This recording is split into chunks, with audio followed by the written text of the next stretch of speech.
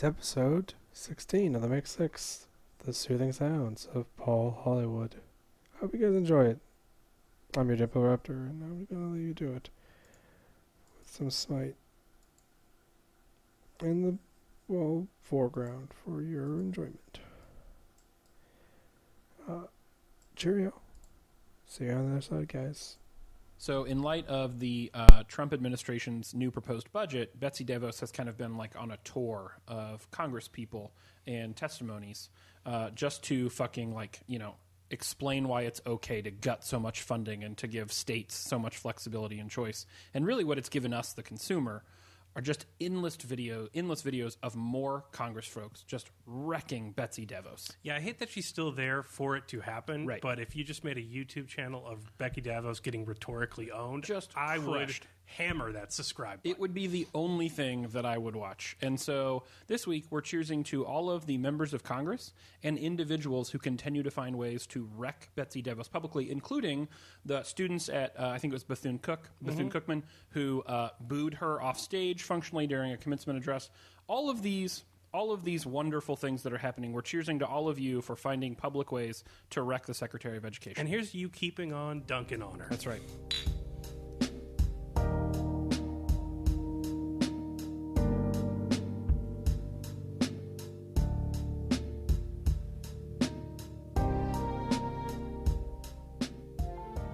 Welcome to the Mixed Six. I'm Caleb, I'm Spencer. and this is the pre-party. Holla. Felt a little long. All right. Uh, anyway, in the pre-party, we get our news out of the way before we get on to our six random conversations during six random beers.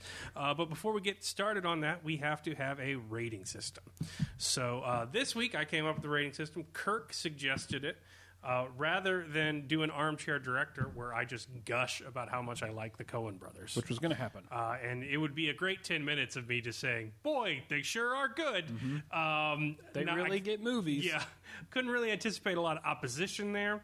Uh, so we figured Kirk will give you an entire episode long influence on the podcast with the Coen Brothers rating system. Uh, so I developed the rating system. Want to be clear that the rating system is strictly in integers. If one of your favorites on here, it doesn't mean it doesn't exist. It means it's in between the integers. What the fuck is this? Are you fucking? Are you like trying to avoid the Tarantino backlash that I got? I got. Are you backstopping right Ye- now? Yes. Man. Why, why wouldn't I? Like, if you see the guy walk through the minefield and hit the God, mines, Caleb. you don't go that way. thought we were you in go this a different together. way. Jesus. Gotta agree with that. Cool guys. oh, you know what? I'll sit on this side of the table. All right. All right. Well, I hope everyone fucking hates your list. So All right. continue. Uh, one is a Lady Killers. Uh, I guess it looked good on paper, but it was terrible. It was a remake of an Alec Guinness film, right? So it seemed like it had some legs. And Tom Hanks, yeah, Right. I mean, it looked good on paper. sure.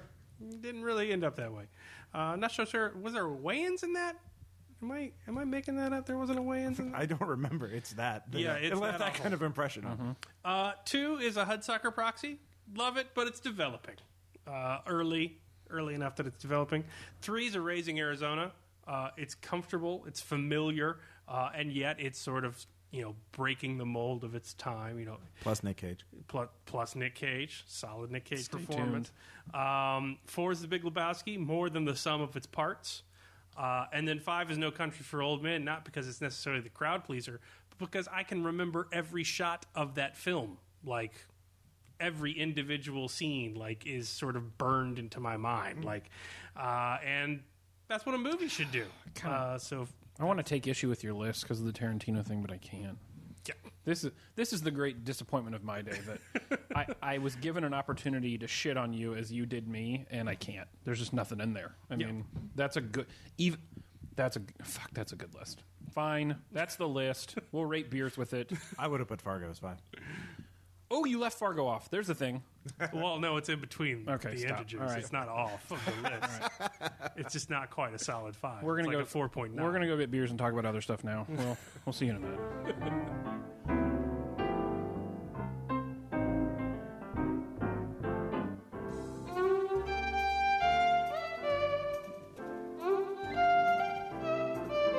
Caleb, I'm really looking forward to you reviewing this beer with that wonderful list you've put together. So tell me what it is you're drinking and what you like about it. He's going in for it right now. I am drinking a James E. Pepper 1776 ale.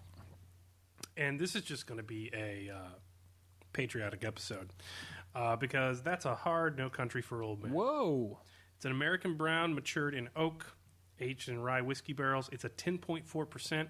Now, the thing with browns is they often fall into the Pilsner trap for me, which is like, that's a brown, all right. Nothing in Or, there. Yeah, that's a Pilsner. Mm-hmm. It sure tastes like one. Right. And it's sort of the, you know, bait, the chicken of beers. Sure. Um, not this one. This is uh, very, very tasty and uh, intensely drinkable for being a 10.4. I'm going to have this. And while I try this, why don't you tell everybody what we're talking about? So we're going to start off as usual, dissecting our fun, and we're going to talk about a game that, having owned it for two years, we just managed to beat. Uh, what do you think about that? That is quite good. I don't know that it's a. It's probably more of a Big Lebowski for me. Eh, that's fair. I I upped it to a five though because I don't get many browns I like. No, that's totally fair. Um, so in dissecting our fun, we're going to talk about a game we just beat to Fights Back. I've owned it for two and a half years Yeah. now, at least, uh, which is the Grizzled. Um, and the fact that I've been playing it this long to beat it this late, Right. uh, probably says something about its design sensibility that I haven't quite unpacked yet. Right. And I figured we might as well do it here on the podcast. and to be clear, it's not that it's taken us this long to beat it because we've played it so few times. We've probably played the game 25 plus times. Yeah, it's the a quick two game. years. Yeah, it, it, it, it really is probably a 15 to 30 minute play, right? In a lot of ways, Mm-hmm. and you'll know very quickly if it doesn't need to be a 15 or 30 minute play. You'll know after two or three turns that the, that the game has ended, even though it hasn't technically ended. Yeah. So um, it, it has been a feat of strength, just it's Sisyphean almost in the efforts to try to beat the Grizzled, and yet for some reason, on my birthday only a few days ago, we fucking beat that game. So, anyways, uh, why don't you talk a little bit about kind of like the, the, the theme of the game and the game design, and then we'll get into kind of like strategies for or wha- how, how you kind of play the game effectively. So the Grizzled is a World War One game where you all play French soldiers, uh, and you basically take a character. You have an individual character power. Um, and I bought it at Gen Con two years ago because it just came out. Um, it's also been released by uh, the. It was also featuring art from one of the Charlie Hebdo cartoonists slain in the tragic attack. Um, and so I got it. Not know that. Um, it's excellent art, uh, excellent work. The game basically involves um, you have your character with your character skill, and then you have uh, two decks. You have a morale deck and you have a trials deck. Um, the trials deck, if you get through to the bottom of it, you get to peace and you all collectively cooperatively win the game. And the morale deck, if the morale deck empties first, you lose and you're all dead and you get a monument. Um, so the basic premise is the mission leader uh, will have to draw a certain number of cards. They say how intense the mission is. Everyone puts that card out on the table. Uh, then you have to put the cards down. The cards will have two of six threats on them. So it will be like a Two or more. yeah, two or more. It'll be like a whistle and snow, or rain and a bullet, or a clear day and a Gas mask. gas mask. Um, and they will be in any combination of that, or they will be all six, or they will be three, or they will be something like that. And the premise is the mission fails if three of any individual threat are out at any time. So if you have three snows, three bullets, three Whistles, three gas whistles, masks. gas masks. Right. And then there are additionally trauma cards which go on your character. The traumas will add things to it every single round, every single mission. So you might get a trauma where you have like a phobia of shells. You get shell shocked. Yep. And now that's one shell to add to everything else that you're playing. Yeah. Um, and it is just bafflingly, perplexingly hard. Like Yeah. f- for people who are even really good at games. Part of the problem. Uh, go well, ahead. there's also uh, traps, right? Mines. Uh, Oh yeah, so if you draw a card that has a trap symbol, you draw another card instantly and play it, Right. Without any way to anticipate. no freedom of choice. Yeah, no freedom of choice. Uh, there is an optional rule for newbies to not use those cards or not to have that rule in effect. Right. Uh, did you, when you won, did you have that rule in effect? or Yeah, we played with traps. Oh wow. Yeah. That is an accomplishment. That's what well, we're we played here. with three people, Yep. and the game. Well, we've realized the game may be unwinnable at four people, just because of the sheer nature of having to pull the cards. Yeah, we've learned we've learned two things kind of that go beyond just the content of the game, the theme of the game. Two two things about playing the game. One is number of people is important. The right number of people is important, and two, um, that thing you mentioned about being able to determine the intensity of a mission that the mission leader gets to do at the beginning of a round. Those two things seem to be, to me at least, the most important elements of the game. So first, we've played the game with three people. We've played the game with four people. Unwinnable with four people because what happens when you have more people sitting around the table Is, is you that draw more cards. you draw more cards, and that's in. So you're drawing more cards out of the morale deck, Mm-hmm. right? And that is a that is a well, you're drawing more cards out of the trials deck, right? Yeah, Yeah. yeah, You draw out of the trials, But uh, but you can withdraw early if you have cards that are going to end the mission. that's right. And every time you withdraw, you're adding cards from the morale Right. into the trials. It's like giving up, and so then you lose some morale. yeah, Um, the trick with four people is that for every person you add to the number of people playing the game, you also add someone who is adding one of those six threats yeah. to a turn. And so They're every time two threats. That's every right. turn. That's right, because they're Yeah. Mm-hmm. adding like a setting, like snow or rain, and they're also adding either the gas mask or the whistle or the bullet, and so they're adding two threats every turn. So it's been unwinnable for us at four. It was. It's been unwinnable at three, um, but we won it while playing with three because we're getting, you know, at, at some point exponentially less threats on the table, right? The other thing that's really important then is choosing mission intensity at the beginning of the game. So at the beginning of each round, the mission leader gets to choose how difficult is that mission going to be. And that determines, as you said, the number of cards that each person takes into their hand to start the turn. Uh, in the past, we've had kind of a shoot the moon strategy, like go as many cards as you can to get as many cards in your hand and out of the trials deck to get to the bottom of the trials deck sooner. But the problem is that when you have so many cards in your hand and there are enough people sitting at the table, all of you are going to have to give up lest you put down a third matching symbol of any type of threat more quickly. Yeah. And when you withdraw with cards in your hand, you move more, more cards over from the morale deck and you deplete the morale deck. So our shoot the moon strategy wasn't working, and so we were really measured in our approach this last weekend. Yeah. we were pulling three cards at a time, no more, no less. and making sure that when we withdraw, there was never more than three still on the table. That's right. Because you have to put three down, even if there's one left. That's right. But if you have four, now you're putting four down, five, five down. Yeah. So you can't leave that many cards on the table. Um, so really, you have a you have a narrow window of zero to three, Right. in which you can withdraw and call the mission a success, and still perhaps get a net increase in cards Yeah. that you went through. But it's like the game requires a lot of table talk. There's there's cards that silence your character, so you can't talk like and like coordinate with people. which is absolutely crucial. You've got these lucky charms abilities that eliminate certain things from the hand, or Yeah. speeches that eliminate things from the hand, and you know you've got cards that take those away. Right. It's it's a brutal game. So like now that we talked about the mechanics of it, Yeah. why have we come back to this? Whereas there are other brutally difficult games that we have not played nearly as much. Sure. Say for like uh, uh, Lord of the Rings, which Yeah. is another great game One of that my we like. Yeah. but bafflingly difficult Yes, at times. yeah. The win rate is so absurd Yeah. that that even I, who loves the game, thinks it's one of the better games ever put together. The Reiner Knizia one. I don't even want to play it all the time because it's like, no, I would I would like to win today. yeah. Um, part of the reason I think we keep coming back to it is two reasons, I guess. One is because I'm really fucking frustrated we hadn't beat it, and it, and it's really just annoying. It's kind of weighing on me. It's antagonizing me a Yeah. little bit. Um, the second reason, and and I you know I think this is kind of interesting for people who like to play games because they think there's a very methodical, fairly material way of min maxing of determining a best strategy based on number of cards on the table, etc. The game should be infinitely winnable because at some point you should be able to say, well, if we can get down to this few cards in our hand and withdraw, and move this many cards from the morale deck to the trials deck, we should be able to to beat that number over time as long as we can avoid any major mishaps. So there's something that seems very winnable about the game at its core that I just couldn't fucking figure out. And I don't think I have figured it out. I'm not saying that because we've beaten the game, the gates have opened up and now I'll never lose the game again.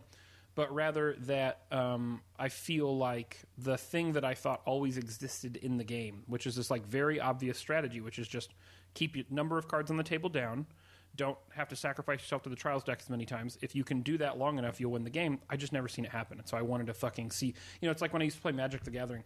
I Yeah, in theory, this should work. Right. Why hasn't it worked? right. Yet? Yeah. I, I wouldn't build effective decks. I would build decks that had you know nine or ten different tricks that needed to go off. Yeah. and then I would play endlessly, and I would lose, and I would lose, and I would lose, just to find that one instance in which all draw, nine of yeah. those, you know, kind of like Rube Goldberg devices worked together, and I got to play one trick I'd worked infinitely hard for.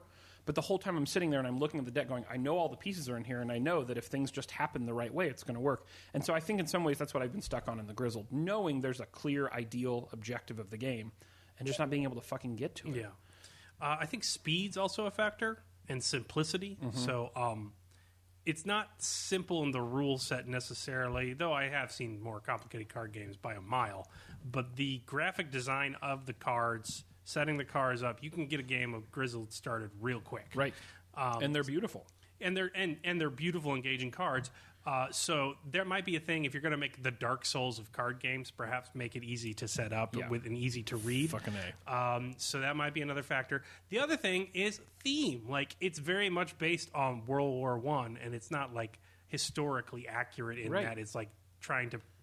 You know, trying to depict the Somme or anything. Yeah. But it is, you know, brutally difficult and somewhat capricious. Right. And like, had, had it been a card game about like a water balloon fight, I'm not sure I would have dedicated as much. Like, I think I would have been like, why the fuck is this game so hard? It's Yeah. about a water balloon fight. exactly. But at one point, like, if the theme is like World War One, it's like, oh, that was probably a lot harder Yeah. than playing a card game. So I should probably be happy that it's That probably did just a card suck. game I'm losing repeatedly. Yeah. Um, yeah. So I think theme is also sneaky important in getting me to play it over and over. Sure thing. Yeah. I'd recommend it for people who are really into A, not getting frustrated when they lose, and B, who are really into trying to reduce a game to its simplest parts and then see if that works, right? Who can see past themes sometimes, who can see past all of the smoke and mirrors and say, well, really what's happening here is it's a trading game or an economics game. We're trying to get fewest number of cards in hand so we can move minimum number of cards over and see how many times we can outlast fate or, you know, the Yeah. other fucking countries in the case of,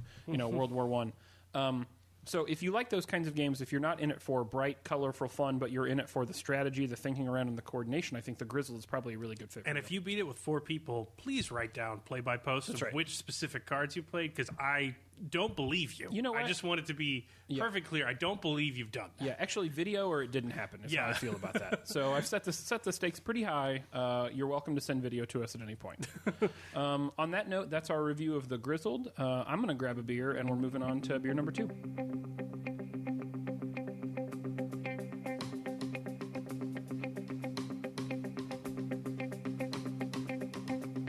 Hey Spence, what are you drinking? So this is uh, from Ommegang, and it is the Rosetta. Now we have to remember uh, the the Ommegang Three Philosophers, which was a Hard five. I think at, at the time it was kind of like a conflux of two things. We had both tried it and someone had recommended it to us unbeknownst to us.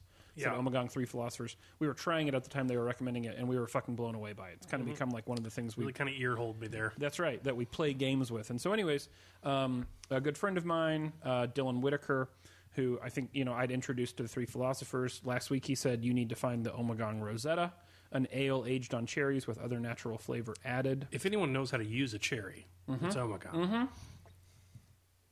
And my goodness, um, it's five point six percent, and it's absolutely fucking delicious. Look, I'm not one for screwing up um, parabolas, but this is a five for me, and and I'm going to blame you for picking a five out of the gate for screwing up where we are. How many beers we at now? Like- U curve. Oh, I don't know. Um, episode 15 at six beers, that was 90. So we're going to be We're gonna have some Texas sharpshooter at some point. Yeah. here. we're gonna have some runs. Yeah. like it's gonna happen. right. We found one. I think. I'm not looking forward to the episode where it's all ones and twos Right. because that's I know that's coming. Right. I know that's in my sponsored, future. Sponsored by Stillwater. I would, I'm sure. Yeah. Sorry, Stillwater, if you're listening. Um, this is The Mixed Six bringing you grocery store brand beers. that's right. So, anyways, this is delicious. Um, it's uh, it drinks very light on the front end. It almost has a, a carbonation to it. Um, it drinks like a soda, uh, and it's got you can taste the cherry. Definitely a little bit of tartness on the back end and some sweetness. So, highly recommend this. Uh, and thanks, Dylan, for pointing it out. And while I drink this, Caleb, what are we talking about? In uh, what we're going to talk about today, and this is was a mistake, which is your number one vote for this episode. It was like 35% of you, yeah, I think. and yeah. thank you. You really like to, us to talk about mistakes, Right. Um, we are going to talk about uh, something that is near and dear to both of our hearts. Very important. So, um, hosting as an adult is something that I think you should do. I think it makes your home a better place. I agree. You, you keep it cleaner. You think of design better. Um, hosting guests is nice. Uh, It can be. and it can be, but it can also go terribly wrong. Right. Um, and one thing I see it go terribly wrong is one of two directions. Yep. In, in hosting, it will just be come over or come over and eat dinner, Right. and that's it. That's you it. assume we're too adult for Right. activities, uh, and therefore you get the real awkward. So what do you do? Right. Nev- something to Say no you, to that. The party's going wrong if someone's asking. Totally agree. Um, or you try and do the activities and the theme thing, but the theme party, which you and I are huge fans, That's I mean that's that's life. easy to do wrong. Sure. Easy to screw up a theme party, especially as you're becoming an adult. Yep. And arguably shouldn't be having them Right, anymore. But right. Screw those naysayers. You're having a theme party. Just make sure you do it right. That's right. Uh, so, and this was a mistake, much like our yard sale episode, as people who have put on the best yard sale ever. Ever. Solved yard sales. We've also kind of solved theme parties. We have the best theme parties. Um, so, um, what do you think about this? What are some do's and don'ts in the world of the theme party? Sure thing. Um, so you know, and again, you've already done a good enough job of tooting our own horns, but you know, I want to get one more in there, which is, but but for some missteps here and there, probably in college, some ill-advised topics and/or themes. Um, as adults, we've crushed theme parties, um, and we've crushed theme parties doing a number of different things too. So it's not just like pick a theme and go forth. It's it's the themes kind of dictate what you're going to do. So, for example, we have theme parties built around movie days, which we do at your house, you know, three to four times a year. So, you know, we had a Fast and Furious movie day where we watched all well, in theory, all of the Fast and Furious films were on, while we had other Fast and Furious themed themes going on. So the food was themed. We had some beer pong, which was themed. We had some other games, which Themed were drinks. Themed, themed drinks, right? Was there pin the tail on the race car kind of thing? Yeah, yeah, Yeah, there was a there was a finish line Yeah. on the board, Right. And we spun you around. You had to put the car there. Right. Some months ago, uh, in March uh, for Spring Movie Day, I think that we did uh, w- uh, kind of like irreverent war films movie day, and so it was a bunch of Yeah, like we did a military war day, but it's like in the army now. Right. Renaissance. Operation man. Dumbo like, Drop. Right. Nothing that could possibly depress anyone. Right. And so then, you know, we had different kind of games throughout the day. You know, we had some different activities going on. And then again, we had some like fun things around and the food and the drink were themed. But we've also done non movie day theme parties. So Brandy, for example, is big on Friendsgiving every year. Uh, and I would argue that has a theme. yeah, it, well, especially since last year, she literally made it friends themed. Yes. and everyone got glasses with their own friends' names, and people were encouraged to act like and/or dress like the character with whom they were assigned. Um, and then for Christmas, we did upside down the the chimney, uh, which was a Stranger Things themed Christmas opportunity. I bought a Stranger Things Christmas sweater. Yes, That is amazing. Right. I got a Stranger Things coffee mug. Uh, mornings are for coffee and contemplation in the Stranger Things writing uh, in our themed gift exchange. So, anyways, what all of this to say, that's a lot of evidence that we crush theme parties. All right. So, why do we crush theme parties and where can you fucking go wrong with a theme party? But evidence that a lot of people don't crush theme parties. That's right. White people in blackface all over the internet. Don't do that. Don't do that. Nope. Nope. Shut that down. People aren't costumes. Right. Um, don't do that. Uh, other, Well, I think n- more broadly. you're not going to defend those. Are No, no, no, no. I think no, no, no. The rule should be like don't have a theme that you don't want on the front page of everyone's social media. Seems Yeah. reasonable. Yeah. Yeah. Yep. Yep. Seems reasonable. Um, so that's like the obvious ones, but there are more subtle ones. So, for example, I am against the dress-up theme party, say the Gatsby theme party, where you need to get a fucking tux and stuff like that. Right. Demanding participation before people get to the party and see if the party is good seems like a de-incentivizing act. It doesn't encourage me to go. Right. So, like the Halloween party is ostensibly a theme party, Right. um, and I, I will I will uh, uh, give that a slide for being you know culturally significant Sure. the costume Sure. on that night. But but in other cases, like in Fast and the Furious Day, had we demanded people dress up in car uniforms Right. or like their favorite characters, Right. That I feel like that would like discourage attendance, which Right. it's a party, and you're an adult. Your circle of friends is dwindling. Right. You don't want to di- discourage people to come to your party. There is a trick there, though. Like you certainly want to welcome them, welcome them dressing up, but you don't want to make it mandatory. So, yeah, like yeah. Do not make it mandatory. when we did when we did '90s kids sports film movie day last year, um, you know, I wore like sweatbands and headbands and tennis shoes and stuff because I thought, well, I'm going to get into this today. Yeah. but but I didn't want to feel pressured to have to get into it in that way. If I just wanted to show up in like jeans and a t-shirt and then participate in the shenanigans, that should also be okay. So yeah, definitely don't make the the theme so exclusionary and so pressure intense that before people even get to the party, there's stress around the theme. I would say another thing is, and this one's kind of weird, and it's certainly subjective based on where you are in life, but don't pick a theme that is that is too close to your center. So all of our themes are themes that force us to stretch a little bit. They're not things that we routinely interact with. Stranger Things may be like the one exception there. Yeah. But especially for movie days, right? Like 90s kids sports films. I did not have those in my DVD collection. That's right. Fast and the Furious. you know how hard it is to find the mean green on DVD? Right. Difficult. Yeah, yeah. It is difficult to find that. So, Fast and the Furious Day, yes, we fucking love Fast and the Furious. Yes, it is one of our early rating systems and arguably the best best rating system. But we all don't sit around and watch Fast and the Furious like all of the fucking time. I couldn't tell you the name of a car Right. in those movies. Right, exactly. Uh, so you know, so Camaro. Done. Good job. maybe. I assume so. Producer Ross, film expert. So what I'm saying is, like, pick a theme that stretches you a little bit. What, what you don't want to do is you don't want to throw a party where you're just using a bunch of shit you already have and saying it, it's a theme. Yeah, choose yeah. something that you've got to work for a little bit. Because Make it that- an event for yourself as well as others. Yeah, that's what I'm saying because that forces you to go, you know, kind of get out of your own box, come up with some creative stuff, and that's where the, the creative stuff is really the thing which sets the theme party off. And the other thing, I think you need to think of the theme as uh, to bring it back to board games. Right. As a board gamer would think as a board game as the mediating space for the social interaction. Mm-hmm, So if you're somewhat socially awkward, like I am glad we don't go over to your house with you, me, Brandy, and Sarah, and just like stare at each other and like, so how was your week? Right, right. Mm-hmm. Like I would do that, and I'd be fine with that at this point. Right. But at a certain point, like. You do need that sort of mitigating translational Some theme, forced like- interaction. Yeah, like some forced interaction. Also, and I wouldn't even call it forced. I just saw communal, like Sure, yep. shared. Yep. Uh, uh, sort of uh, Rosetta Yeah. stone, so to speak, to talk in heyo. your individual languages. Um, the theme party, the best way to think about it is that. Like Mm-hmm. your shitty puns about cars for your food. Yep. Potato peel outs. Right. Nice. Um, those are dumbass. Car tots. Car. Okay, well, we were reaching. The tots got really in late. Yeah. Um, Yeah. But they were car tots. Uh, and we use that to this day to refer to tots. I don't refer to them as tater tots anymore. I Yeah. refer to them as car tots. yeah. So I'm just saying that is your mitigating factor. You're going to get people in there. You're going to get them talking.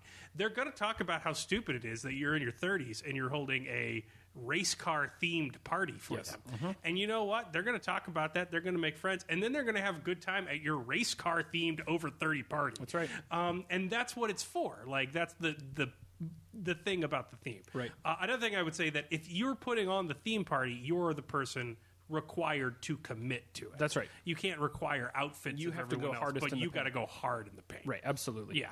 Uh, last thing I'd say about theme parties is, you know, you need to have some focus. So, so it may not sound like it, but a lot of planning goes into these things that we do. In fact, we often plan like months in advance. Like, what movies are we going to watch on movie day, and in what order are we going to watch them, based on how drunk we think people will be when they are in z- different periods of the day. I know we're going to announce this soon, but I'm a little scared about our next theme party. We It's- won't have movie control. Right? No, it's going to be Until really very brutal. late in the game. It's going to be really, really brutal. Yeah. But you know what? Well, that's fine. We're going to adapt and overcome. Right, we're going to leave That's that the up. stretch for us. We're going to leave that up to the movie people. parties got too easy. That's right, they did. So what I'm saying is, so we plan long in advance what films we're going to watch, uh, in what order we'll watch them, what food we're going to bring, what activities or games we'll have What going we're going to call the food based on puns. Yes. So so these all these things all seem like well, I guess I'll have some people over this weekend and I'll put some stuff on the walls and I'll call it a theme party. Look, you could probably do that.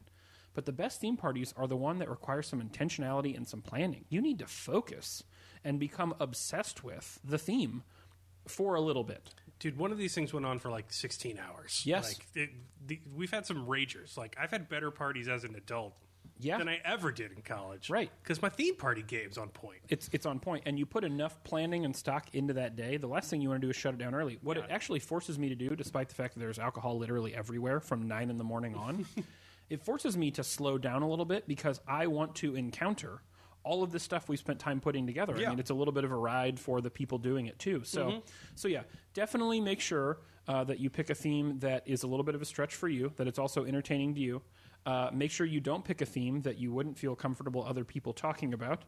Make sure you focus like crazy. Uh, make sure you get people who are willing to buy in, but don't pressure people into doing stuff they don't want to do. And make sure you fucking plan. I think those are kind of like the trick to the, the, the, the theme party. And I think the number one thing is just have one. Right. Like, have people over to your place. Right. Like, it's hosting is good for you. Sure. It makes you a better, more empathetic person. You're more concerned about your your friends' needs, Right. And you've cleaned your place up for them to come over. Like Right. host host people over. Yeah. there. It's not like a it's not. You be selfish about it if you want to. Like it's a self improvement kind of. Yeah, as someone who never wanted to host people, uh, it well hasn't in the last couple of years because like I worry about how the dog's going to interact with him because he's fucking crazy and all that stuff. But you're still fantastic at it. And Brandy is Brandy is the best host queen, I've ever queen seen. host. It's Yeah. it's uncomfortable for me, in fact. But what it's done because my natural speed is not to have people over to my house that aren't close friends who want to play board games. Yeah, yeah, yeah. Uh, it, it has it has actually helped me in some ways because the theme is an icebreaker, like you said earlier. It creates a safer space It's a where mitigating yeah, factor. everybody's a little bit awkward when you're all fucking talking about Fast and the Furious films or The Big Green Mm-hmm. or Rookie of the Year, and so you know we're all on, on equal playing field here. So, anyways, this was a mistake. That's how to not fuck up theme parties. And with that, it's time Well, to grab. uh, Uh-oh, sorry, producer Ross. I do have one. Um, do you have any idea, uh, possible other ideas for themes? Because it seems right right now all the themes for the listener at home who may not want to nu- necessarily do a movie or TV show themed uh, party. Uh, what like I had an idea of like maybe doing like a rockabilly one, like uh, like a 1950s Sure. uh, one. Do you are there any other possible suggestions you could give people for places to get inspiration? I think for kind our of- likely listeners, board Yeah. games would make a lot of sense. Uh, Yeah. games in general. Oh like a, maybe like kids board games like a Monopoly, like uh, Yeah, Clue. that'd be great. Yeah. uh, if you, it, it really depends on the context of your friends. Like, Yeah. I typically like if I meet people who's just like never hear of any movie I reference, we don't typically Right. meet up again. Yeah, Like, yeah. yeah. That's yeah. Just that's the nature of friendship. I think Yeah. a little bit. Uh, so, like, look to your contacts. So, if it's like if you and the guys are down at the wargaming store, like a Warhammer 40k, like theme party could be hilarious. Could be bananas. Yeah. Right. Okay, I kind of want to do, Right. do that. It could be it could be the fucking best. I know nothing about Warhammer 4, but I'd fucking show up. You Yeah, know what I mean? yeah. I'd read enough to be able It's to where be the at the phrase party. grimdark comes from. Yeah. Okay, great. Yeah, Yeah. yeah, I mean, if you're gonna like, we're gonna decorate my house like a fucking metal album. Yeah. you're gonna come. We're gonna drink regular beer, but we're gonna call it like Yeah. Not regular orc beer. spleen blood, and uh, yeah, just you know, be ridiculous, and then have some beer pong in the garage, Yeah. And play some quarters somewhere, and then you're good. You've And got call them something else. yeah, Right. yeah. Call them something else.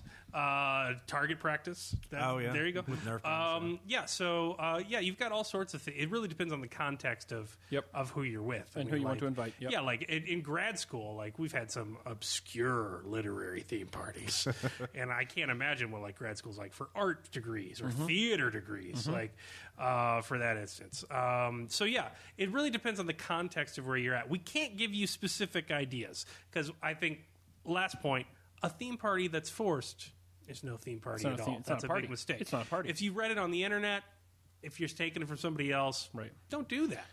Or, or at least make it your own. Make it your own. You It's gotta gotta make be it your your thing. You've got to be into it. So get into it. Um, figure out what works best for the people you want to invite. I think you can pull from literally anywhere. We happen to pull from you know uh, TVs and, and movies because TV and movies because that happens to be like most of our conversation. Yeah. But we're certainly open to changing that up. And at some point, we're going to run out of good movie days ideas, and we're going to have to switch anyways. Mm-hmm. So I mean, that's kind of where we are. Anyways, with all that said, time to get another beer. Time to talk about something else. We'll be back in just a second.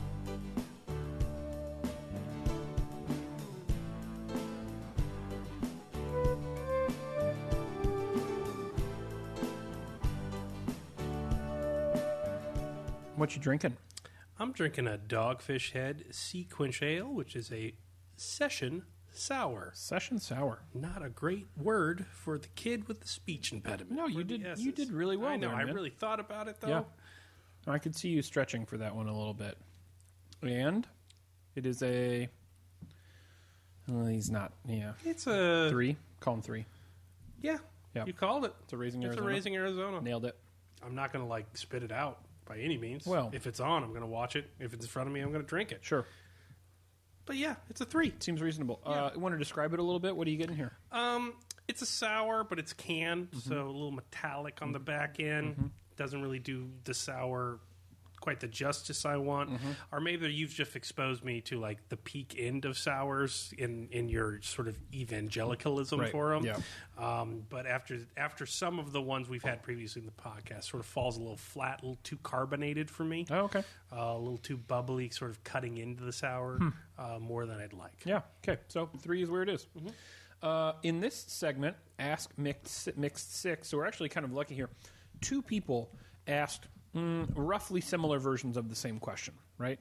So Copernic, Combo. Yeah, it's a combo. Can we get like a fighter game Or- sound effect for that, Ross? Uh, I'll, I'll I'll think about it. That means All no. Cool. Great. Great. Uh, just make one up in your minds. Uh, so Copernicus Crane asks, "What makes a good seasonal, in this case, summer alcoholic drink, in your opinion?" And kind of looking for what characteristics are most important to you. And then Ethan Cordry. Uh, which kind of says variety is the spice of life, and a lot of your highest recommendations are for fairly unusual flavored beers. But I think you'll agree that not every hard five is an everyday drinking beer, which is absolutely Clearly true. agree that, right? yeah. We've Most learned, hard fives We've learned that with MILF. Okay. yeah. Uh, where would you instead locate the perfect balance of reliable enjoyment and consistency? and Ethan, the reason I threw you into this uh, Ask Mix 6 is because uh, we have a hard answer for the one beer we drink if we can only drink It's Radler. yeah, Right? it's the Boulevard Ginger Lemon Radler. Yeah. Is- It's, oh, God. right, Whew, right, So good. Which we've talked about at length, but but we want to talk about in kind of a more specific, targeted sense In today. terms of as it is a seasonal beer. Right, it's a seasonal beer, but also what makes it so perfect, right? Why the five rating, and what what are those characteristics that we look for, and then by extension, other people can look for when they're looking for a good seasonal beer. So yes, it's the Boulevard Ginger Lemon Radler. It's nearly perfect, um, but what makes it so perfect? So let me tell you, as I was kind of thinking about this, why I like the Radler.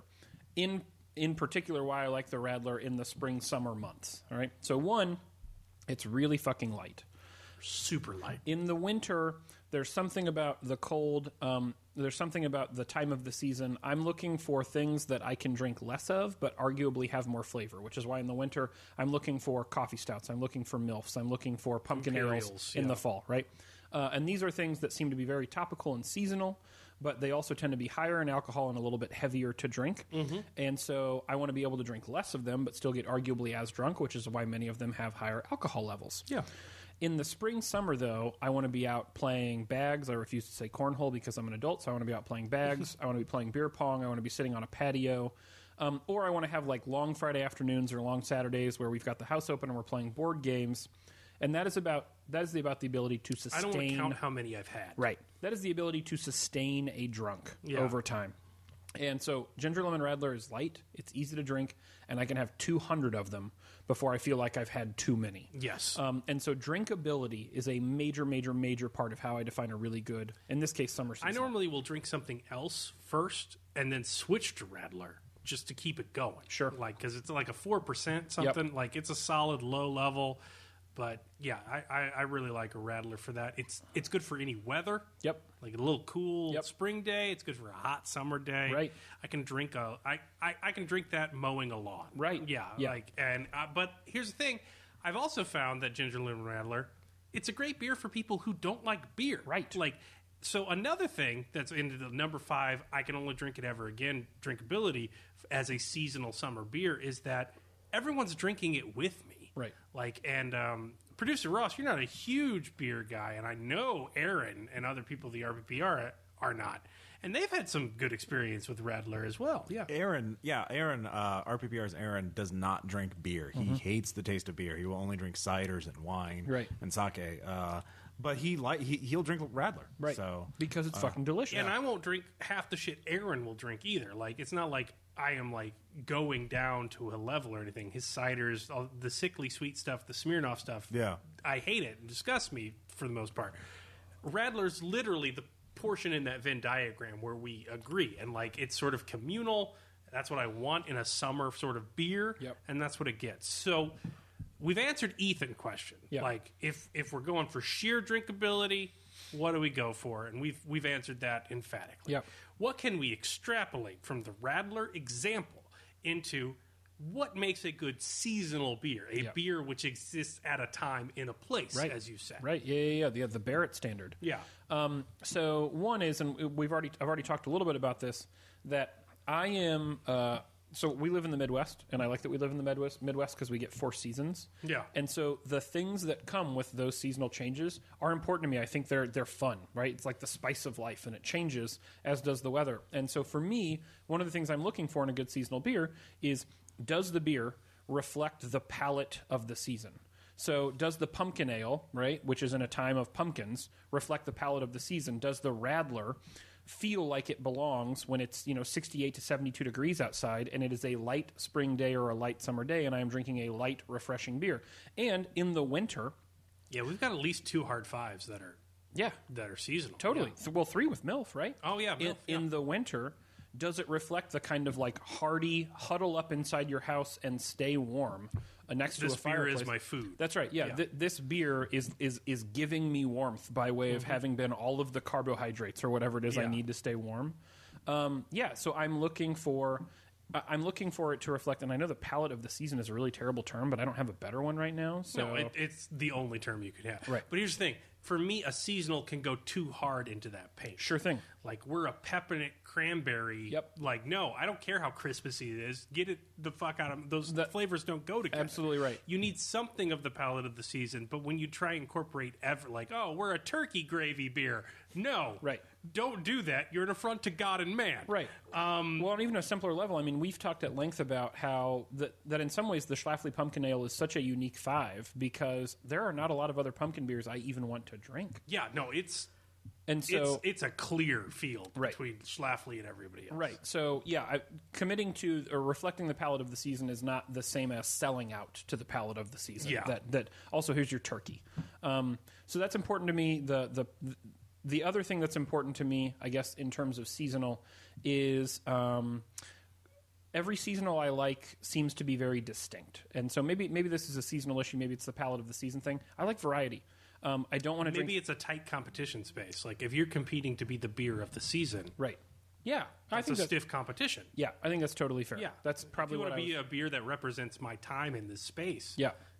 There's only one of them that's going to get there. That's what. That's the better way of saying what I was going to bumble around for two or three minutes. That's absolutely right. That you need to not only be distinguish, distinguishable by way of being a seasonal, but you need to stand out in the category. Yeah. And those beers happen to stand out in the category for us. So I think that's probably really good. Anything else stand out to you as what makes a great seasonal? Uh, for thinking from the brewer's perspective, of which I have a li- very limited experience to Yeah. because of the bonus episode, but I would say that like I really want a seasonal to be a good beer that you decided would sell better in that season, Mm-hmm. or a good beer which because something was in season you could not produce Right. without what the ingredients you did it. Oh, yeah. rather than a beer that we produced specifically for the season. Yeah. I think anytime it comes like, oh, we need a Christmas beer, we need a spring, we need an Easter beer, we Yeah. need a spring break beer, anything like that, it never goes well when Right. you're trying to cater the taste to a specific time. Yeah. I think if you have like a gr- delicious beer, it's like,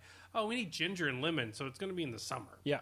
That's a great Well, idea. yeah. Don't, don't let the tail wag the dog. Yeah, let Yeah. yeah. let God decide the beer taste, Amen. and then you try and fit the bill. Don't don't go around the other. Way. The way. only time Caleb Stokes has ever let God decide anything, maybe. Yeah, no, that no, that I'm makes still not comfortable with. it. Right. That makes some sense to me. I think that's a really good point, which is maybe why, you know, when I think about some of the seasonals I like the best, it they happen to be seasonals because they're great beers and there's some value in limiting their availability, but also because it's literally just the right time of the fucking year to get those types of ingredients and make them work for you. Yeah, and I'm not a brewmaster or anything, but I imagine freshness is also a factor in like Sure what you're is. putting in things. Sure Like, it is. for all those hardcore foodie people with uh, gutter palates uh, like my own. Like Right. uh, I, I imagine that has a serious effect on beers.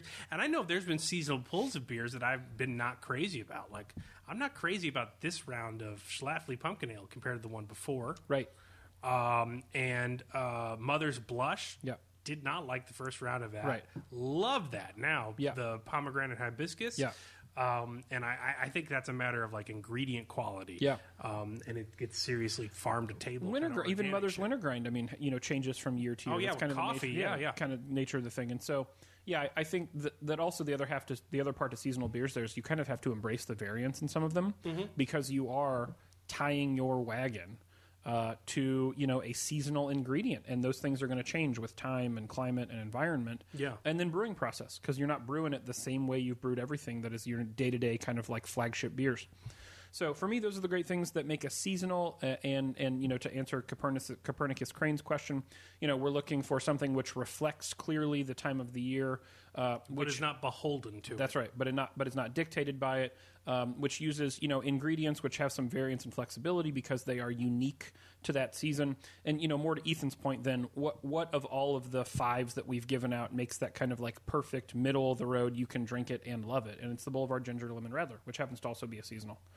A- And and that is not a transitive property of beer because they make uh, a another Radler, uh, which is like a pomegranate blood orange or something. And that's like a th- two, three for yeah, me. yeah, probably a hard two for me. Yeah, yeah. yeah, yeah. So, so it's not even just that I'm into that category. yeah, I'm into that beer transition. at that time. Yeah. yeah. Um, and with that, speaking of beer, I'm going to grab another one. We're on to something else.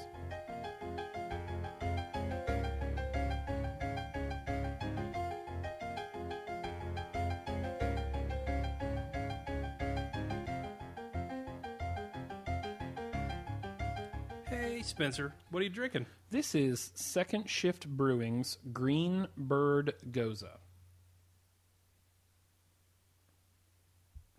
Um, no, I don't think so. Not for me. Um, uh, yeah, that's a that's a Hudsucker proxy. That's a two.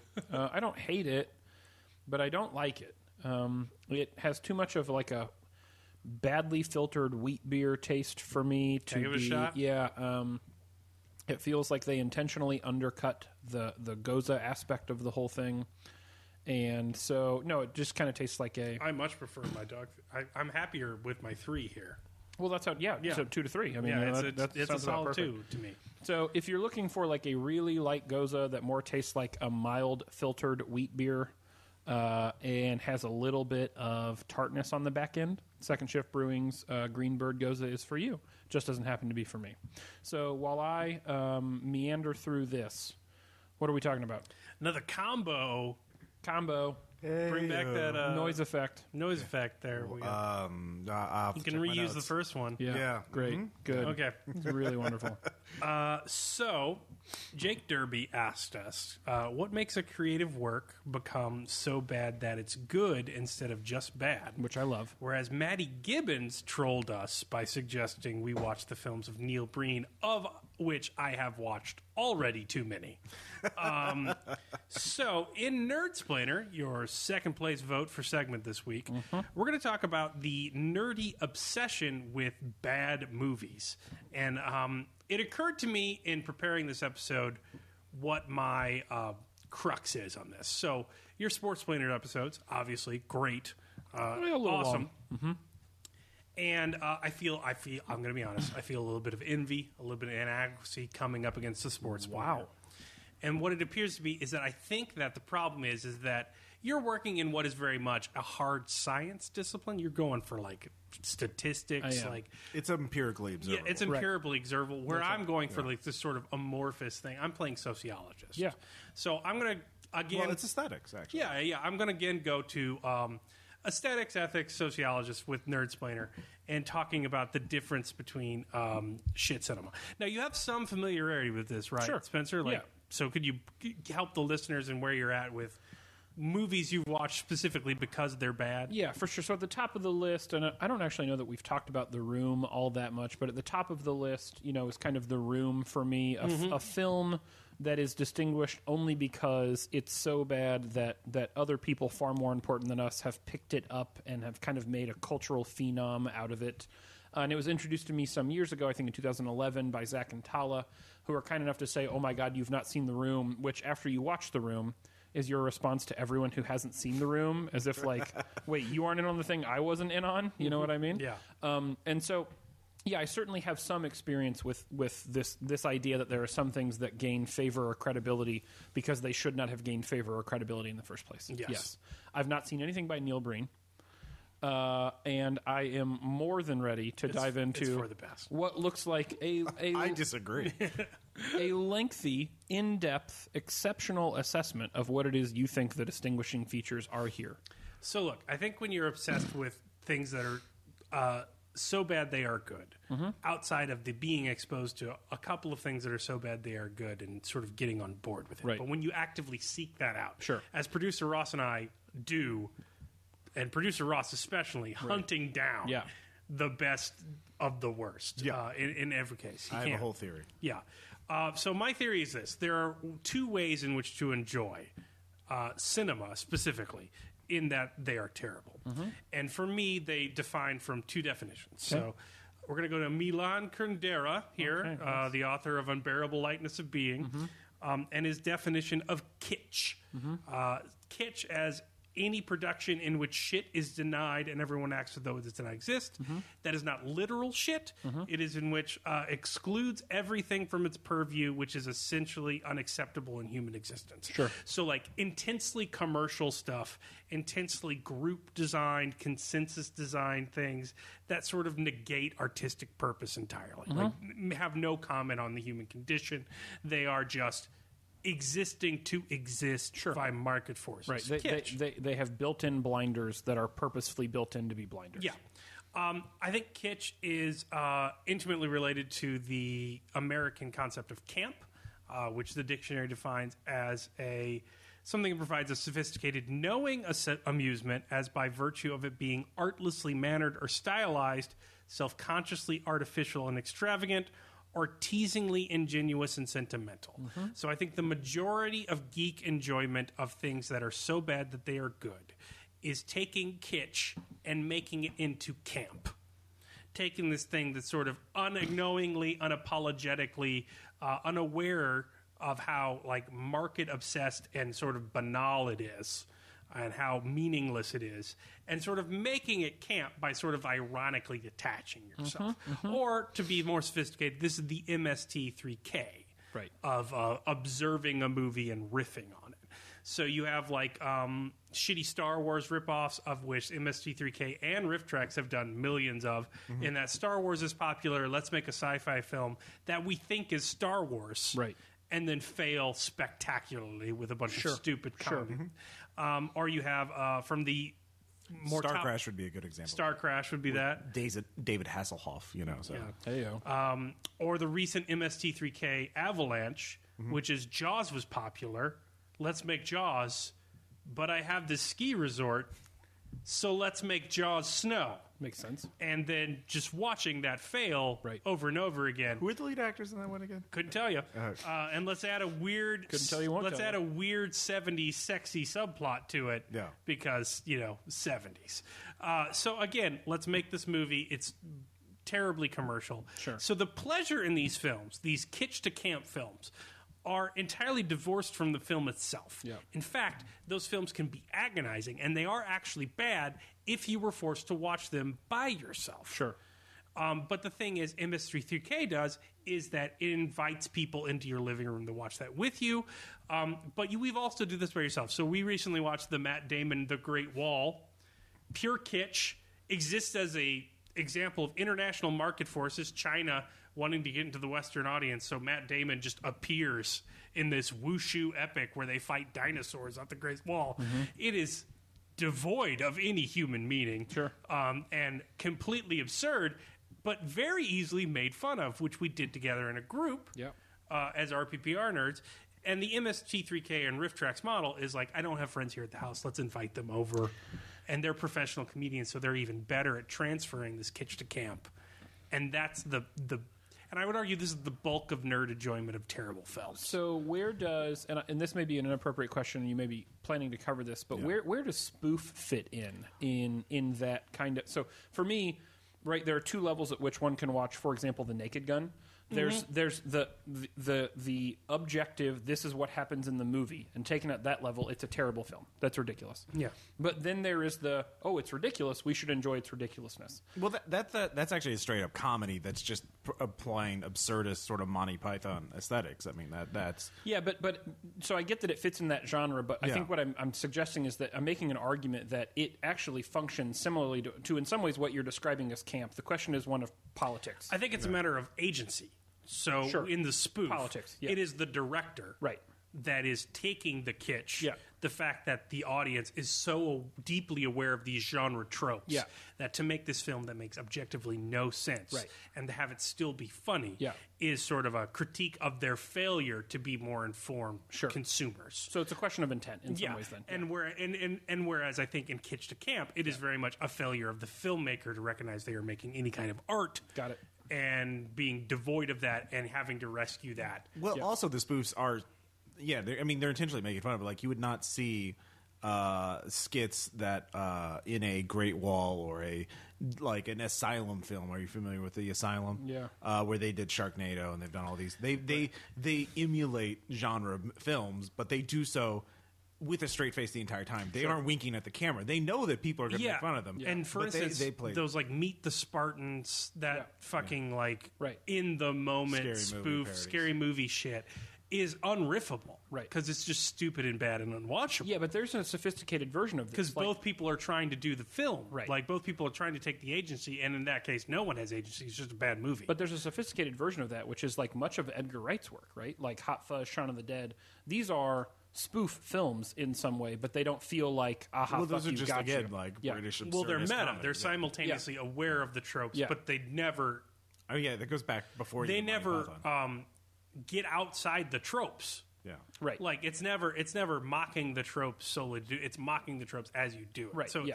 I would argue that Edgar Wright elevates itself to satire, not spoof. Hmm. Um, but yeah. I mean, anyway, um, what I consider this is that the other type, and the type that I think you're more familiar with in the room, because Yeah. you specifically mentioned it, is uh, it occurs when you take kitsch and camp and you find that there's no kitsch at all, but rather an artistic statement beyond what the filmmaker intended. Mm-hmm. So that's where you get stuff like cult films. So the Rocky Horror Picture Show was originally a cult film because it was considered so bad. It flopped so fucking hard for sure. and so drastically that it was considered bad. But in fact, it was just anticipating a sexually liberated zeitgeist Yeah. so far beyond its time that like people recognize that, and now it's more like church when you go to a Rocky Horror Picture Show showing. Um, there's nothing campy or kitschy about it. Like it is an audience participation theatrical act, Yep. but it is an artistic moment. Um, you have Night of the Living Dead, which is really you know you know now is the so far anticipated the zeitgeist of the monster and the Yeah. horror movie that it was considered you know unwatchable, untrademarkable at the time. Um, but on the other hand, you get these films that are so deeply embedded in the psychoses of the director. They are so intrinsically tied to the horrible, shitty, um, you know, mindscape of the director that they become artistic statements beyond that which the director intended. And, and what I'm talking about there is the room is not about seeing what happens to Johnny. Right. No one gives a fuck. Yeah. The room is about seeing what Tommy Wiseau Yeah. is going to do next. And you're going to guess it's a sex scene. And yes, you were right. It was a sex scene. Right. And then it's going to be, I have breast cancer out of nowhere. And you're like, what? Right. And then another sex scene as that plot of things. You're about you're delving into the mind, and it's really the antithesis of kitsch. It's kitsch that goes so far into the realm of meaninglessness it wraps back around because the director has just shown this integral and almost a like dirty and kind of dark picture Right. into the human mindscape. Yeah, right. So you get like Birdemic's obsession with Hitchcock references and James Nguyen And Yoko Ono. Uh, uh, and Yoko. Well, uh, well, the thing is, um, this actually goes into a long tradition of art. It's called outsider art. Yeah. and this g- goes back like literally centuries. And when you refer to outsider art, you refer to someone who is an outsider to the traditions of art. Sure. someone who not only has no training in art, but is no matter what exposure they have to culture. Is unaware of the basic conventions of it. So someone Neil who- Breen. Neil Breen, Tommy Wiseau is also included, and uh, so is uh, uh, the Birdemic director uh, James Nguyen. James Nguyen, yeah, And also, Neil Breen has his own like archetypal hero's journey at Yeah. this point. Like Neil Breen has remade archetypes in his own image, Yeah. like because his films, regardless of the topic, follow the exact same through It's- line for the character. it's the artistic equivalent of basically, you know, when two children live by themselves and make up their own language, uh, you know, outside, Right. devoid Yeah, of yeah. context from the larger culture. Yeah. And so that's why it's important in an in, a, in an artistic sense uh, to see what they do because it's sort of. Uh, very, uh, let's see, naive and very innocent and very, and also very revealing of their inner psyche and uh, of their personality, and that's why they're really interesting and unique and worth watching. and and that's what I'm saying. Like, Yeah, yeah. whereas one side of it is like it's kitschy. It's so deeply informed. Well, they're not kitsch at all. I know they're not. Yeah. But one side of it's it's kitschy. It's so deeply informed by the cultural zeitgeist that you have to sort of rescue it through irony. Right. The other side is like it's in the same market demographic as those shitty films with The Room and Neil Breen, and uh, you can sort of put it in the same area of kitsch. But in looking for it, you find instead something like deeply human. Yeah. It's flawed, Right. But that flawed like brings out the humanity and it's so deeply honest. So like that's the sort of um, point in nerds planning. Like you need to be careful when you're talking to nerds about something that's so bad it's good, Right. Because they don't have the same definition every time. Yeah. Um, so for instance, I think Dan can get down with some MST3K, and the second it gets into some outsider art. He's out so hard, it's the funniest fucking thing I've ever seen. or also absurdism. Because, Yeah, like anytime you get into absurdism, anytime you get into like the, the Right. sort of mannered writing in cinema, Sure. yeah, Yeah, because we like uh, uh, there's a whole thing about him watching Rubber. Right. Uh, yeah, no, I've heard about yeah. this. Yes. Uh, he did not respond well to it. So. Right. Whereas the opposite, I think you'd react very well to something akin to the room, like Yeah. a Neil Breen, Yeah. and you would be interested in it. Whereas I don't think you'd have any interest in your average MST3K riff because it's just a bad Yeah. movie that you're trying to rescue through your own jokes. I think yeah, I think I think they're fine. You know, like I appreciate MST3K a lot. I'm glad that it's back. I'm glad that it has a cultural following, and occasionally Brandy and I will watch one, and I, mm-hmm. I will find myself laughing at the things. But I think that they they lack teeth for me because in some ways it. All you're doing is the thing that I would do through a bad, bad movie, anyways. Yeah. And so a lot of times I'm even evaluating if that's better than the joke I think I would have made in some ideal universe because ego and arrogance and all that stuff. And so, so it, it the thing that you've introduced as the interlocutor there between the bad film and me is the thing that I was going to do anyways. Yeah. And so it's lost any teeth, right? It, that, that's not a marketing tactic for me. Whereas um, reading The Disaster Artist, which is in some ways the same as watching an MST3K film with those guys in the room, which is trying to kind of like make light of what went into or where we've ended up. Mm-hmm. Reading The Disaster Artist, which is the making of The Room by Greg mm-hmm. Sestero, the guy that plays the friend, um, that was infinitely fascinating to me because that is not a character arc or backstory that I could have added while watching that film.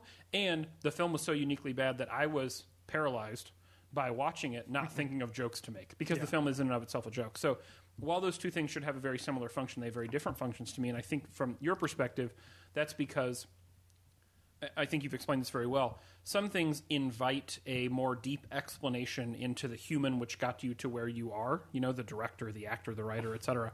Some of these things are just things which are exist. done by committee, Right, and, now it's and- harder to analyze. And now we, yeah. we, we have pointed out how dumb they are by committee. Yeah. I don't find that all that fascinating. yeah, no, Uh, I mean, I do only in as much as that's that's what we do, and so the and, idea and of I other care people for doing it I for care me- for both, but like that, I feel like that's not everybody, Right. And so, in examining the sort of nerdy obsession with so bad it's good, Right. Maybe be clear in: Are you taking something kitschy and Yep.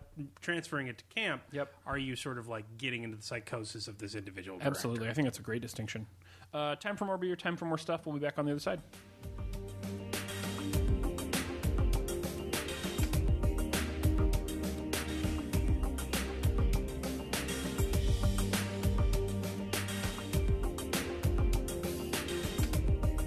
Caleb, what's that beer? I am going to drink a Prairie Artisan Ales Paradise, which has a very vapor wavy label. I love the label. and it is an imperial stout brewed with coconut and vanilla. To be clear, producer Ross just literally almost jumped out of his chair Literally, like when I almost said fell vaporwave. over when you said vaporwave. I've never seen anticipation. My goodness. so buckle palpable. in, producer So, uh, Ross. I, That is- Vaporwave is pretty great, guys. yeah, yeah. Heard There's that a before. there's a playlist on Spotify. It's like 30 hours of Vaporwave. Uh oh, Caleb is. It's pretty good. And to be clear, you don't love you some coconut, so I dislike coconut in the extreme, Mm-hmm. and that is still a solid Big Lebowski. damn. Yeah, Really? no, it's pretty tasty. Uh, not too hard as an imperial. It's pretty good. I think we can conclude that Prairie does Imperials well because if memory serves, the bomb is Prairie Bomb's a hard is like a fight. thirteen percent. Just and we're not alone. Your fucking like, face. Every every beer thing ever is just like this Yeah. is transcendent. It's- Try that. Yeah, I'm going to try that. While I try that, why don't you tell everybody what we're talking about? We are going to talk about in Binge Binger, a recent obsession of mine. I came through through Sarah, uh, which is uh, he said a meh Yeah, face. yeah. No, it's a three four for me. Yeah, Yeah. probably a three. Uh, but you're not a stout guy. I'm a stout guy. Right. Um, so, uh, in Binge Binger, we're going to talk about a television spell that was cast upon me. Spell-o-vision. Through, yeah, spell-o-vision. Uh, through uh, my loved one, Sarah. To be clear, I've been I've been preaching this gospel for months. You have, and I did not believe it. Yeah. because you preach a lot of gospels I that do. I don't listen to. Arrow, um, and uh, but this one, there. this one, you were dead on about. Yep. the Great British Bake Off, which is enchanting, relaxing, and like watchable in a way I'm not sure I can put into words. So I think I can help you put it into words, but they're not mine. But the other day, um, a former student and now good friend of mine who listens to the podcast, an avid listener, Caleb Doyle, tweeted, The Great British Baking Show cured my anxiety. And I know he was being a little glib, but I know he was also not wrong because I have watched That's it. Every season of the Great British Baking Show that I can get my hands on. I've even watched some of Masterclass. Um, and it is the most relaxing, calming, pleasant viewing experience of my life. So here, for those of you who haven't watched it, a go watch it immediately. It's on Netflix. You're going to want to watch the Great British Bake Off or Great British Baking Show. You're not going to watch Masterclass yet. Masterclass don't, is like don't for go into die hard yet. fans. Don't go into Masters yet. You'll get there. Um, but the premise Paul is Hollywood and Mary Berry need to be characters to you before Masterclass makes sense. That's right. That's right. So the premise is um, that Paul Hollywood and Mary Berry are two uh, baking icons, Gurus. gurus, as it were, and they are evaluating a bunch of home bakers who have come literally to a nice tent on some fucking hillside. It's like a really nice tent. It's though. a really like nice it's tent. a bomb ass tent. some fucking hillside in England, uh, and they are given A literal pastoral setting. Yes. and every episode, they are given three distinct challenges in which they have to bake things. And the challenges are, in and of themselves, interesting. So, um, the first challenge is the technical bank, te- signature bake. Signature. Signature bake, where That's something they can prepare beforehand. yeah, something that the contestants can prepare beforehand, and, and you kind of know like what the theme is going to be. So your best biscuits or something. Okay. The second round is the technical challenge, and this is where shit gets really fucked up. For how pleasant and benevolent and unassuming the show is, in the technical bake round, It gets dark. it gets dark. Either Paul Hollywood or Mary Berry, the two gurus who have become who are judges for the show, will ask the contestants to bake something in the vein of like a very fancy, a very famous, or even one of their recipes. Some or version of that. sometimes it's like an archaic bake Right. that no human does anymore. and then they'll give them directions, but their directions are just giant middle fingers yeah, because it will they'll say things- delete random Yeah. points in the direction, and Paul Hollywood is just like, well, if you were a real baker, you'd know to do that. Right. It will it will just say something like make icing or let the cake rise. And it won't yeah, it won't tell you temperature, it won't tell you time. And what why that's significant is because as someone who likes to cook because I kind of like enjoy the the jazz like approach to cooking, it's like I don't know, fucking put more stuff in there and see what it tastes like. Baking is just straight up fucking science. Yeah. There's no wiggle room. There's no like I don't know. It calls for hundred grams of a thing. Maybe I'll try. And at 90. 101, it fucking That's right. collapses. It blows up. It Yeah. literally fucking explodes. It turns into one of those like science project volcanoes. Um, baking is fucking science, and so they take all the fucking science out of the recipes. And then in the third challenge, which is the showstopper, they ask you to some to do something which is like larger than life, grand, with presentation. Right, just build a fucking you know, Piping, yeah, just four foot tower shit, yeah. of eclairs or some shit. So here, you know, all of this is set in like some sort of like weird chaos, and we in in America are very used to reality television shows that emphasize chaos and hype. The louder it is, the more insane it is, the more conflict there is. This is all fucking perfect for us. This is what we get into. And the Great British Baking Show couldn't be any less that. Yeah, like that's the thing. I don't know if it's intrinsic in the show or my American reality TV upbringing, but my favorite part about the show is every point where there's conflict that could heighten, where there's suspense they could go after, and they just fucking don't. No. At one point, like they're in the middle of a technical, and I can't remember the names because I'm not that. I haven't rewatched seasons Right, yet. yeah. But um, one baker s- steals a uh, icing from someone else unwittingly because the icing looks the same. Yeah. And they icing each other's cakes wrong. Right. And I'm like, that's like a six episode fucking arc Yes. in any reality TV On show in America that is a and they're just like, "Oh, I'm terribly sorry." It's like, "Oh, that's a damn shame." Oh, oh, and then they like hug, and then it's over, and then they go back to baking delicious looking food. Yes. and it's just so life affirming. It's like, yes, this is the reality I want to live in. Right. Whereas most casting directors, I think, look for the most insane, most likely to stir shit up, cause drama. I think that a prerequisite to getting on this show is not only do you have to be able to bake exceptionally well, you also have to pass a politeness test. Yeah. Like, like, do you help an old woman when she drops her groceries in the street? If so, you've passed one gate to getting on this show. Everyone needs to be the nicest. and like person. they're competing and they're like helping each other. Like Right. it's like I don't know what this looks like, and they'll literally turn around and be like, "I think it's this," Yeah. and like share secrets that they could get a leg up on. Right. and it's just so fucking. It, the cast is so diverse. They get bakers from every ethnicity they're- and, religion, and like they don't. Vote on it. It's not like Great British Bake Off is like, oh, it's not a British cake. Right. It's not. It's not like all cockney and shitty. It's just like, oh wow, that was brilliant. It tasted really good. Who did that? It's also blind. Yep. Which are, are they mis- like make it look blind? Right, yeah, the judges TV. don't know who they're Yeah, it's also blind. It's like this tastes really good and it looks really good. Who was this? Yeah. like that's great. I'm also one one of the one of the subtle things that makes the show so, and and I know that we're talking about we're.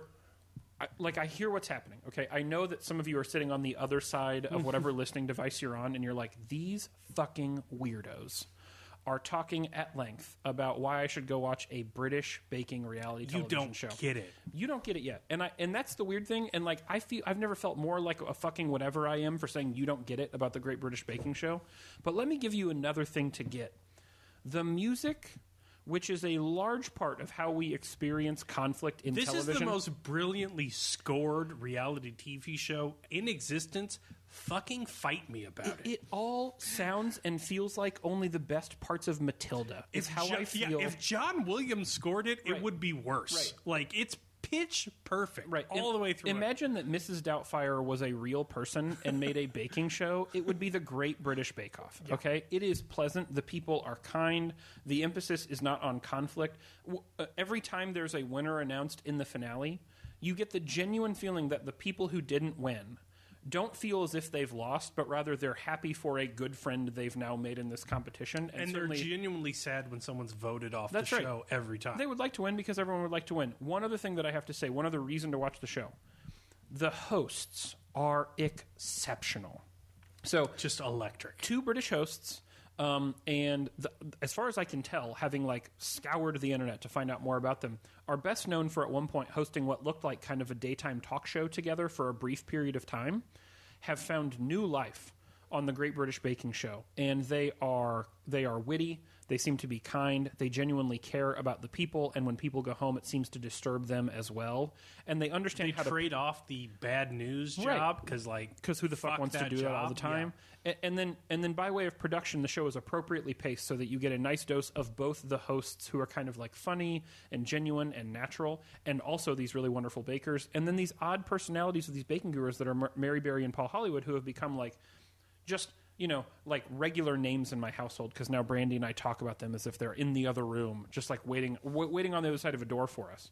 and they will do some like American Idol, like stern face, and this looks and this tastes really good shit. But like, you can always tell. Yeah. Like that's the thing about Paul Hollywood. He gets Yep. that stern face. Mm-hmm. You always know he's going to say something great. Right.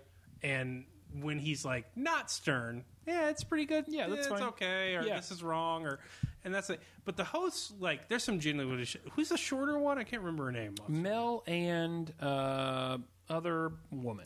The ep- I, the episode that got me on board was when they did the like Paul Hollywood and Mary Berry go around and watch bakes in progress, Mm-hmm. and then the host is usually there to comment.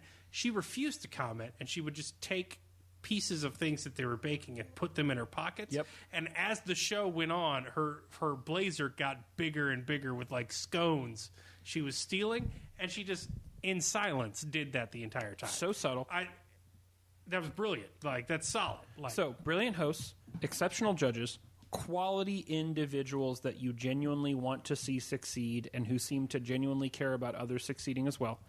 A, a an earth-shatteringly good, simple, polite score. And then what just seems like the most insane shit. Like this these baking challenges that I can't even fucking wrap my Yeah, the fact that anyone could cook anything like that That's in right. two hours blows my god. That's right. And as someone who watches, you know, uh, a lot of like the kind of like big cooking shows, the American cooking shows, the Gordon Ramsay stuff, used to be a big into Iron Chef, all those things, which are built around conflict, turmoil, and drama. To see something in the reality television genre, specifically regarding food, that is so wildly different than that, it's refreshing, and the whole thing feels refreshing. And I cared nothing for those shows, to be clear. Right. But here's my takeaway from it. I know it's a reality show. Therefore, I know there is artifice. Yep. And I know the artifice is severely severely underreported. Yeah. And I know that it's in there. But their artifice is seeking to build for me a world Yep. that is more serene, Yep. more polite, less competitive, Yep. and generally more cooperative than the world in which I naturally live.